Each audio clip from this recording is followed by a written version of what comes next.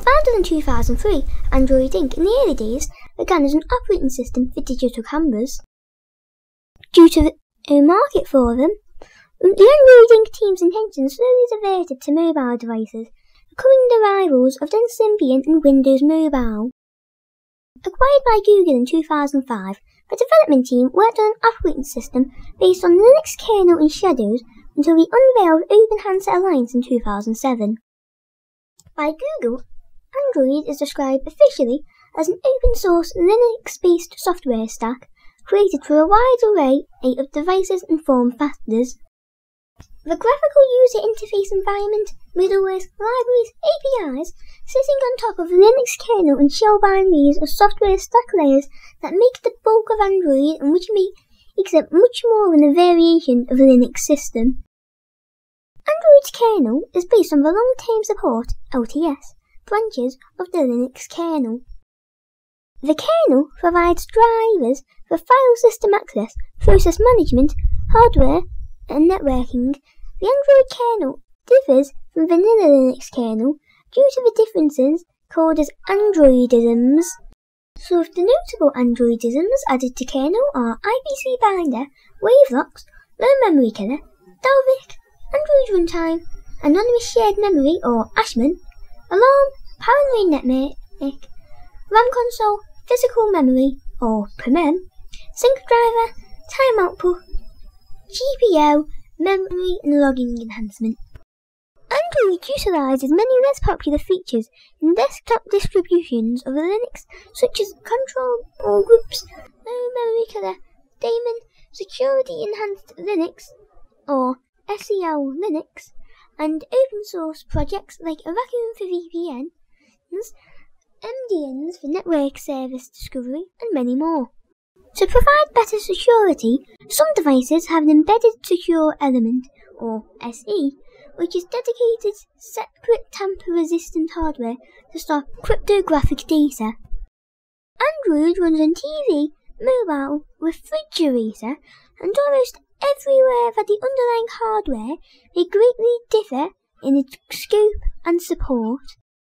To solve this, the Android stack typically relies on shared libraries provided by manufacturers to interact with hardware. Android relies on what can be considered a hardware abstraction layer, or HAL.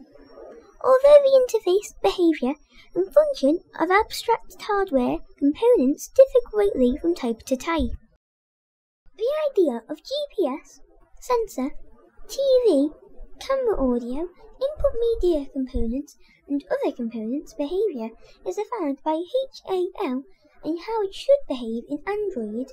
The vendors are still not allowed to make unnecessary modifications so as to not fail the compatibility test suite. The native libraries layer is responsible for providing support for the core feature.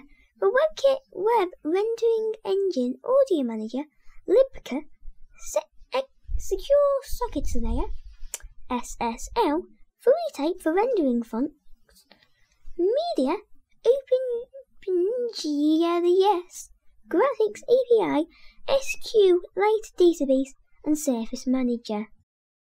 Before Android 4.4, each Android app would run it on its own virtual machine, which is called Dalvik, which got superseded by the Android runtime ART.